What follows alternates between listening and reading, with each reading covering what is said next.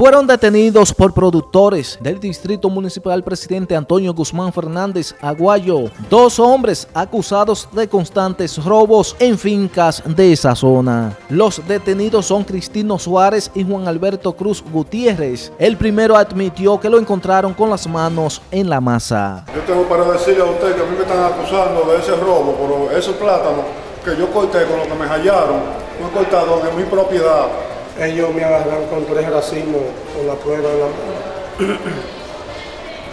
y esa es la única identificación que ellos tienen, que me agarraron con tres racimos. Pero eh, los tres racimos de plátano que yo corté no, no, no fue ninguno de, del terreno de lo que me están acusando hasta ahora. Una comisión de productores agrícolas de la referida comunidad acudieron al Comando Regional Noreste de la Policía Nacional para dar seguimiento al caso. Dijeron que esperan el sometimiento a la justicia de los detenidos, porque de lo contrario actuarían con sus propias manos.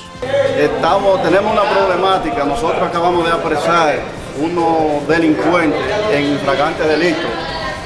Eh, se nos están robando los plátanos, la uyama, todo lo que se llama eh, productos, agrícolas.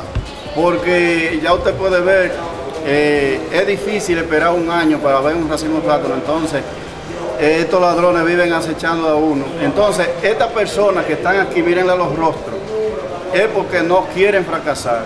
NTN, su noticiero regional, Robinson Polanco.